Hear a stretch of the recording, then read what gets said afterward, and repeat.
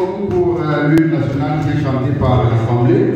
À présent, nous allons entamer avec euh, l'hymne du parti La Salle va aussi animer.